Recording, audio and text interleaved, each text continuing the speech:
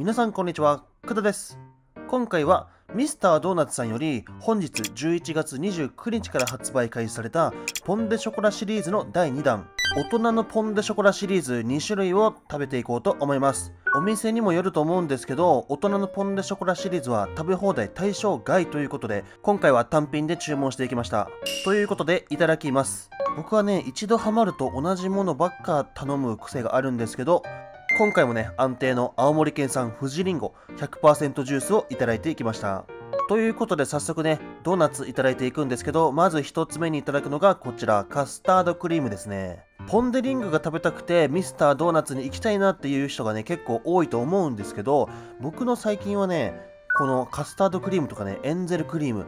これが食べたくてミスドに行きたいなってなるんですよね。砂糖がね、たっぷりまぶされていて、ふわふわのドーナツ生地、中にはたっぷりのカスタードが最高です。続いて2つ目にいただくのが、バーベキューフランクフルトです。少し前にパイシリーズがね、3種類出てから、このね、バーベキューフランクフルトを頼むことがね、めっきり減ってしまったんで、そろそろ食べておきたいなということで、今回は食べることにしました。毎月のようにね、ミスタードーナツさんには来ているんですけど、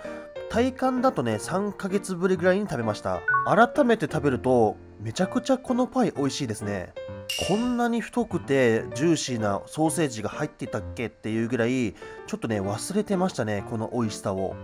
パイ生地はね、すごくサクサクしているんですけど、中にね、ケチャップみたいなね、甘酸っぱいソースがね、入っていて、そのソースとウインナーをね、一緒に食べるのがめちゃくちゃ美味しいです。続いて3つ目にいただくのがお待たせしました大人のポン・デ・ショコラ芳醇キャラメルです本日11月29日水曜日から発売開始されたんですけど今回がね、ポン・デ・ショコラシリーズ第2弾ということで、第1弾はね、11月の1日から3種類発売されていて、今回がね、第2弾2種類ですね、発売されました。ヘーゼルナッツ風味とバニラ風味が隠し味のもちもち食感のショコラ生地に、芳醇なキャラメルが香るソースをコーティング、仕上げにキャンティングアーモンドをトッピングしているドーナツとなっています。ツヤツヤのキャラメルコーティングの口当たりはとろっとしてて、甘さは控えめでほんのりビターな感じがしてこれねめちゃくちゃ美味しかったですね。続いて4つ目にいただくのが大人のポン・デ・ショコラ。芳醇カカオです。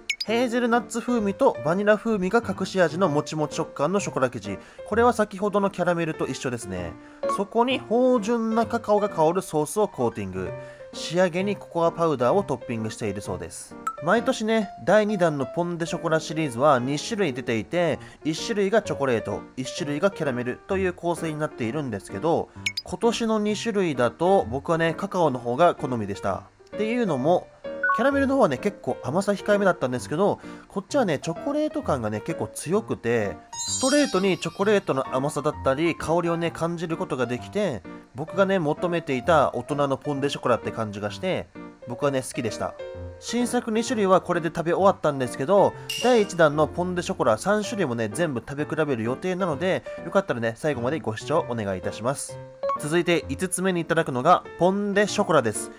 これが王道のスタンダードのポン・デ・ショコラなんですけどやっぱり美味しいですね。毎年食べているんですけどやっぱりこれだよねポン・デ・ショコラといえばというね感じが満載でございます。どうやらポン・デ・ショコラシリーズのドーナツ生地は全部一緒みたいですね。この生地にグレーズコーティング。これがシンプルなんですけどめちゃくちゃ美味しい。今日はね仕事の出勤前に来ていてこちらのお店のオープン時間が9時で僕がお店に着いたのが9時10分ぐらいでさすがにこの時間には僕と店員さんだけみたいですね。6個目にいただいていくのがポンデ黒糖です。先ほども言ったようにオープン時間から来ているということでいつも食べているポンデ黒糖よりサクサク感が半端なくあっておそらくこれね出来たてですね。めちゃくちゃ美味しくて結構な個数ね食べてきているんですけど今までのポンデ黒糖よりも一番美味しかったですね。サクサク感もあるしもちもち感もポンデリングだからもちろんあって黒糖もねたっぷりまぶされてて美味しかったです。ドーナツ追加してきました。全部ね単品で購入してます。最近ドハマりしているパイ2種類とポンデショコラシリーズとエンゼルクリーム。そして温めてもらったハニーチュロですね。これがたまらなく美味しいんですよ。もともとはね普通に食べていたんですけど一度ねこの温めハニーチュロこの美味しさを味わってしまったらもう抜け出せませんね。毎回温めてもらっています。温めてもらうことによってもちもち食感とサクサク具合が全く違うものになってて本当に美味しいんですよね。この独特な食感はねこのハニーチュロにしか出せない食感なのでこの食感と美味しさをね求めてたまに注文しちゃいます。今日はね食べ放題ではないんですけど食べ放題じゃない時に限って結構ね食べれそうな感じがしているんですよね。2杯目のドリンクも富士リンゴ100%ジュースにしました。僕がもともと大好きだったロイヤルミルクティーこれもなくなっているんですけど最近ねほんと山ぶどうスカッシュもなくなっているんですよね。どこ行っちゃったんですかね。続いて8個目にいただくのがポンデダブルショコラです。今回ね大人のポンデショコラ2種類ね実際食べてみて思ったのが第1弾の3種類の方が好きだなと思いました。毎年食べているっていうのもあるんですけど安定の美味しさっていう感じがしてこのポンデダブルショコラに関しては一番チョコ感があってマジで美味しいですね。本日からね5種類全部が揃っているんで全部ね食べ比べてみてほしいんですけど僕の中でねやっぱりねチョコ感が一番強かったのはこのダンブルショコラで今年のね大人のポンデショコラシリーズもね気になるなという方はね2種類も食べ比べてみてください。みんなねカカオの方が好きだと思います。続いて9個目にいただくのがとろーり4種のチーズミートパイです。パイ生地の表面を見てもらったら分かるんですけどチーズをねこんがり焼いた時のパリパリチーズが表面についてて噛むたびにチーズのパリッと食感そして香ばしい香りが口の中に広がってきてマジで美味しかったですね。やっぱりね朝から来ているということもあってパイ生地とかドーナツ生地もね出来たてのものが多そうですね。ミスドの店員さんに聞きたいんですけどぶっちゃけドーナツって毎朝作っているんですかね？めちゃくちゃ気になりませんか？前日の夜に作ったものは次の日の朝には出しているみたいなそんな感じなんですかね？僕はね美味しかったらどっちでもいいんですけどやっぱりね出来たてに越したことはないなということで今回食べたパイとかドーナツはね全部美味しかったですねいつも以上に。10個目にいただくのがエンゼルクリームです。この時点でお店を出ないといけない時間の予定時刻15分前ぐらいでお腹的にはねまだ全然いけるんですよね不思議なことに。なんですけど時間的にもう1周はできなさそうだなということでね今回もまあ12個ですね。胃のキャパ的にもそうなんですけど毎回ね食べたいなと思うドーナツが12個前後なんですよね。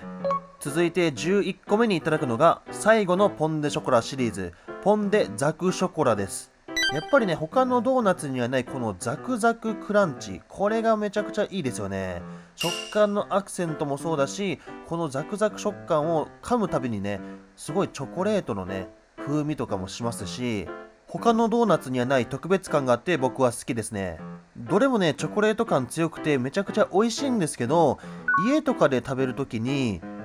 追いチョコレートをしてみたいですね。溶かしたチョコレートを用意してそこにディップしながらつけるみたいな夢のような話だけどできないことはないのでやってみたいなっていう感じですね。1リットルホイップクリームみたいな感じでホイップクリームにつけている人は見たことあるけどチョコレートは未だないかもしれないですね。そして今回の最後12個目にいただいていくのがエビ香るクリーミービスクパイですね。今回もね3種類ほどパイを食べたんですけど一番美味しかったのはやっぱりバーベキューフランクフルトかもしれないです。改めてバーベキューフランクの美味しさに気づけてよかったなという気持ちなんですけど今回のエビ香るクリーミービスクパイエビ感がねいつもみたいになかったような気がするんですよね。いつもね最初の方に食べるからエビ感強くて美味しいなっていう感じだったかもしれないんですけど個人的な管おすすめのパイランキングが確定しました。1位がバーベキューフランク、2位がチーズミートパイ、3位がエビ香るクリーミービスクパイ、4位がエビグラタンパイですね。そしてね、一応最後には濃厚チョコレートパイ。これもね、時間があれば食べたかったんですけど、今回は断念しました。はい、ということで、今回はね、時間がない中での撮影だったんですけど、いつも通りね、12個食べることができました。美味しかったです。ごちそうさまでした。また次回の動画でお会いしましょう。バイバイ。